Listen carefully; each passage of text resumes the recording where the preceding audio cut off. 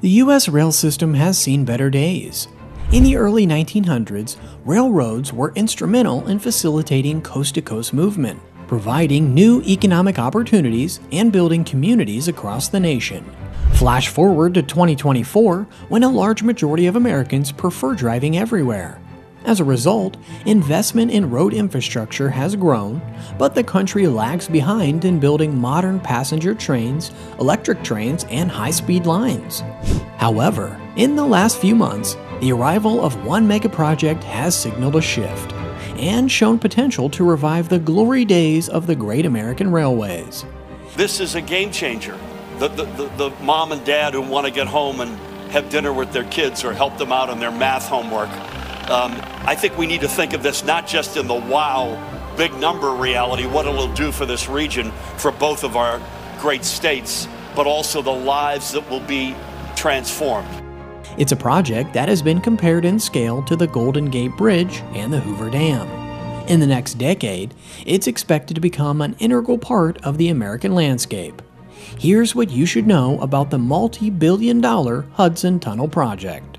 The Hudson Tunnel project was conceived in 2010 as a plan to build two new rail tracks between New York and New Jersey. But as with most mega projects, it immediately fell into a loop of cancellations, revivals, and delays. The uncertainty continued until 2021, when the project received much awaited environmental approval. That year, teams were assembled to design the new two track railway tunnel to connect New York and New Jersey under the Hudson River.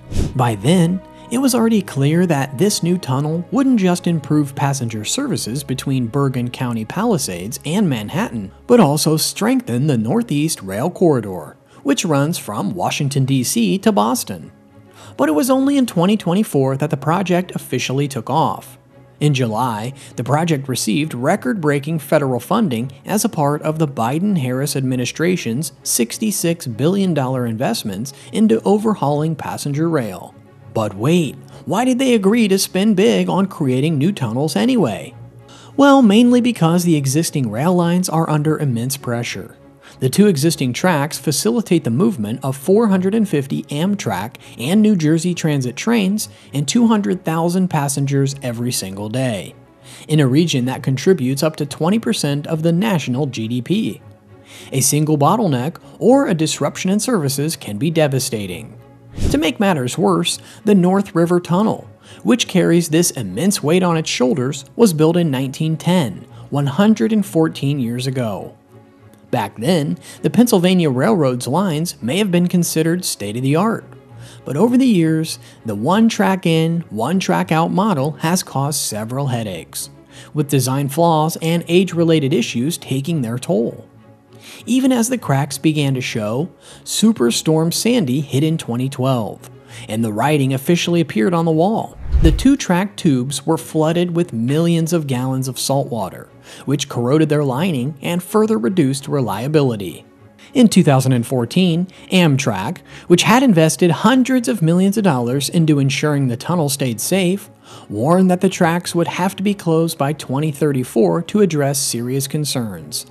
At the same time, officials did the math and came to the conclusion that closing a single track for a year would result in 75% fewer trains on this route, which would be devastating for the economy.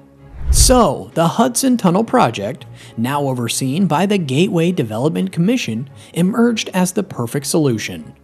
The plan for the newly dubbed Gateway Project was simple build two new tracks about half a mile from the old tracks ASAP, so service isn't disrupted. Then, once the new tunnel is complete, renovate the North River Tunnel to increase capacity further.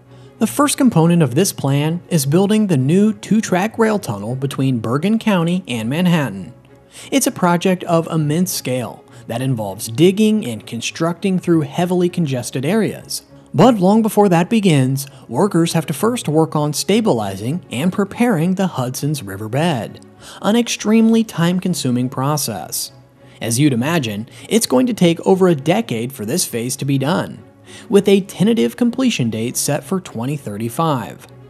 The second component involves renovating the two existing tracks. This project can only start once the new tunnel is ready. It will involve authorities modernizing the old tunnel's design, improving reliability, and preventing another Sandy like freak situation. The third component involves building a concrete casing under Hudson Yards in New York. This will connect the new Hudson Tunnel to Manhattan's Penn Station. The estimated date to complete all these components is 2038. As you've probably guessed, projects of this scale are not cheap. Over the years, the Hudson Tunnel has managed to earn an unprecedented $11 billion in federal funding. Approximately $6.9 billion of this came courtesy of the largest ever Federal Transit Administration grant, while 4.1 billion came courtesy of favorable loans from the Department of Transportation's Build America Bureau. This, however, makes up only 70% of the costs. The states of New Jersey and New York have agreed to contribute another $5 billion. Effectively, the total cost today stands at $16.1 billion, making it one of the most expensive infrastructure projects in the country. Once the project is ready, however, authorities expect to make this up in no time. Even though construction has barely begun, a report from the Regional Plan Association estimates that the project will create 95,000 jobs and generate $19.6 billion in revenue. Moreover, these new rail tubes are expected to be even more efficient, reliable, and safe to use, considering they weren't built in the early 20th century, but with highly modern tools and advanced techniques. This, in turn, will go a long way in easing the daily commute of a staggering 200,000 people and could last for another century at least.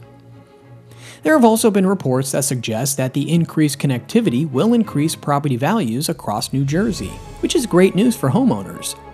Moreover, by easing the commute to Manhattan, the project allows more New Jerseyans to enter the New York market, helping both states grow and thrive. It's no wonder that the Hudson Tunnel has become such an attention grabbing project, and one that has seen almost no backlash. In fact, according to Transportation Secretary Pete Buttigieg, the Hudson Tunnel may just be the most significant infrastructure project in U.S. history.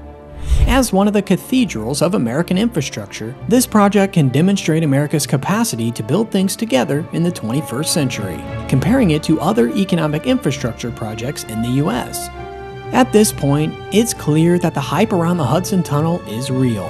Whether it will live up to this promise remains to be seen.